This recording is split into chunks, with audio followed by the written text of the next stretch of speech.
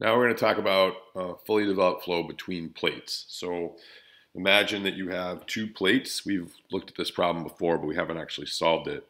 Two plates uh, separated by a gap h here. So it's a small gap. The gap is small relative in particular to the length or the width. Um, so it's a wide, long channel uh, with the fluid going down the x direction here. So the fluid is coming in at the entrance, perhaps with a uniform velocity, and then it's going into that channel between the two plates.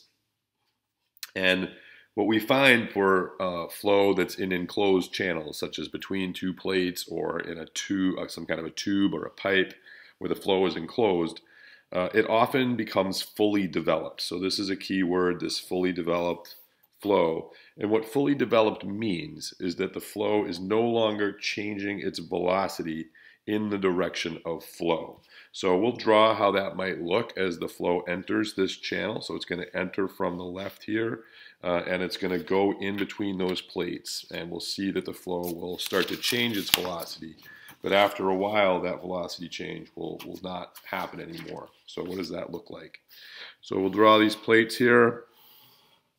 Uh, we're going to have x be going in this direction, in the direction of flow.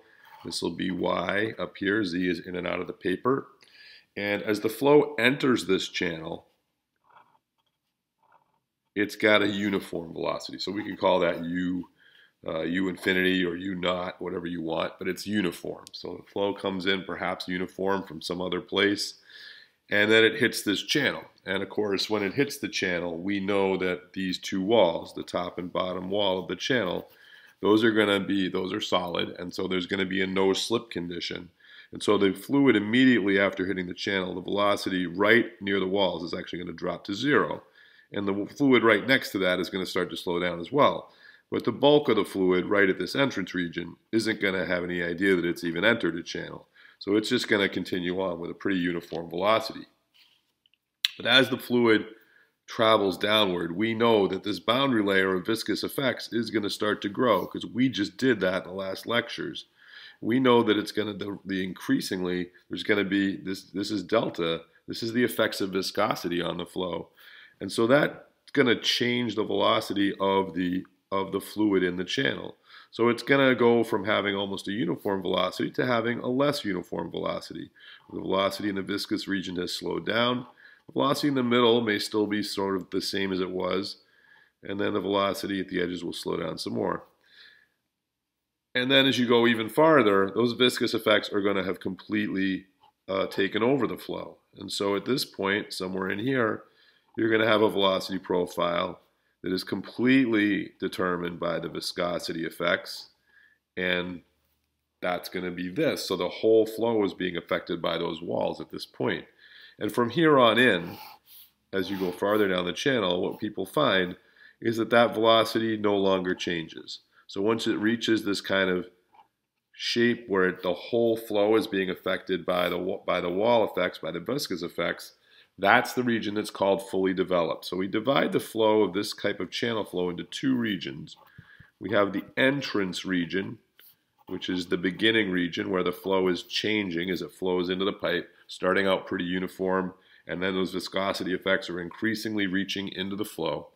And then we have what's called the fully developed region, where the viscosity effects have completely reached across the flow field, and the velocity in the x direction is no longer going to change. So no changes in u, v, or w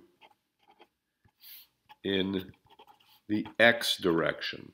So the x direction velocity is going to remain constant, and constant. I'm sorry, constant in the you know in the x direction. So so the velocity obviously is changing as you go from the wall to the center of the flow. That's the y direction. There are changes there, but there is no longer any change for velocity when you look in the x direction.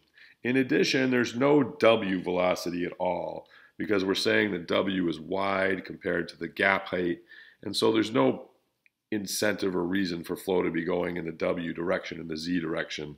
So that we're just going to assume is true. So say if the width is much, much greater than the gap, we can ignore